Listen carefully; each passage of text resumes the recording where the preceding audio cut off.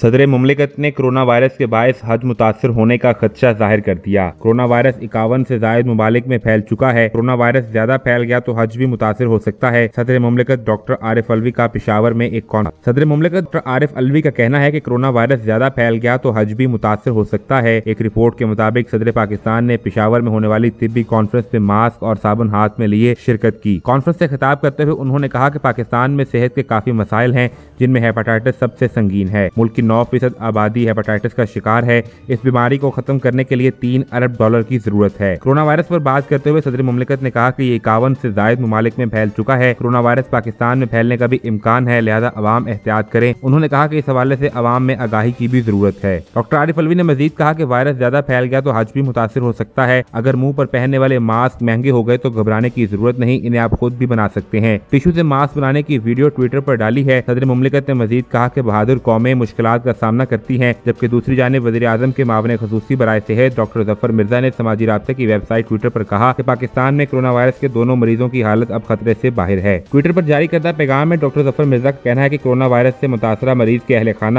اور دوستوں کے ٹیسٹ بھی منفی آئے ہیں۔